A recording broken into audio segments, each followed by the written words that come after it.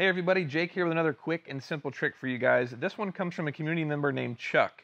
A few days ago we released an interview and we sat down with Chuck and I had the privilege to talk to him about two really awesome builds that he's working on. They were full of creative hacks and one of which was this clamp that he found that allows you to put two pieces of conduit parallel to each other just like this. And this is actually made for engine bays. It's used to kind of clamp two hoses together if you have a show car and you want to kind of organize the hoses in an engine bay.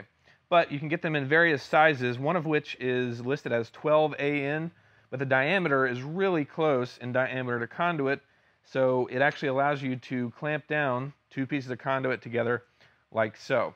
Now I did run into some issues. I ordered some different ones than the ones that Chuck sent me the link for, which these will be linked down below. I recommend getting this brand, and the reason why is because these other ones that I ordered they were supposed to be the same diameter as the one that worked, but they were just a little too loose. They would slide up and down the conduit even though they were fully tightened. And if you do end up getting some of those, what you can do is grind down the two halves just a little bit like I did here, just enough so whenever you actually secure them on the pipes, they'll stay in place and not slide up and down.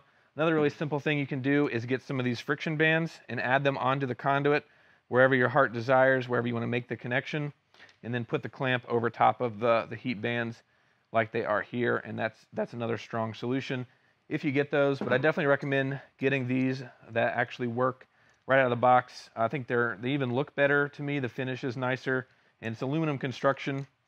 There's just two halves. You can completely disassemble it if you want to clamp over the pipes, which is cool. We like doing that. That's how Maker Pipe works as well.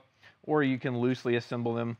The threads are built into this other half and you can tighten them down and then slide them over the conduit and then secure it. So really cool, little simple trick, really great thing. Like I said, it'll be linked down below. Definitely recommend checking out that interview with Chuck. He had a lot of other hacks where this one came from and really clever uses of ordinary materials like this. So thanks so much everybody for watching and we'll see you in the next one.